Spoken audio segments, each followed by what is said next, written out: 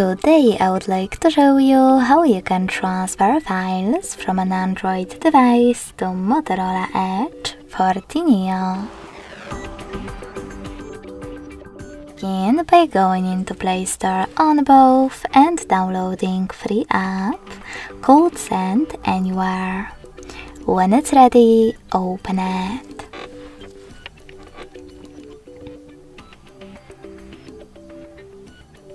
Now, in order to set it up, tap on the same options on both smartphones. Begin by hitting I agree and I acknowledge at the top.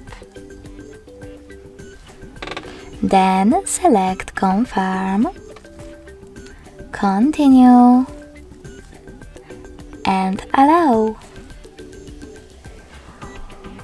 Now on the second one. I agree and I acknowledge. Confirm. Continue. Allow. In this window though, about new updates, you can select not now if you want to, and then just close it by hitting OK. Then click on close in white pop-up at the top and to get rid of personalization one, choose history at the bottom of both devices. Then click on wherever you wish to in personalize your ad experience pop-up. And when you're done, whatever you decided, hit close this window at the bottom. Then tap on Receive right next to History at the bottom of Motorola and Send at the bottom right sorry at the bottom left corner of an Android. Then you need to use all of those categories available at the top of Android device to pick all of your files that you wish to send. When you finished, just click on Send next to Selected at the bottom. Some of those categories require you to select Allow one more time.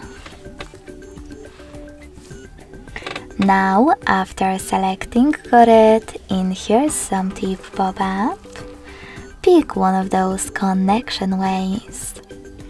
If you want to connect by scanning this QR code, click on the scanning icon next to input key on Motorola.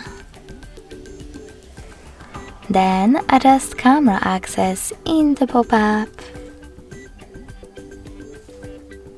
And finally point your device's camera at the code. You can also input this key instead by tapping in all of those numbers in input key section and connect thanks to receive button. As you can see, after that all of my photos were successfully sent. Thanks so much for watching. If you enjoyed this video, don't forget to leave a like, comment and subscribe. Bye!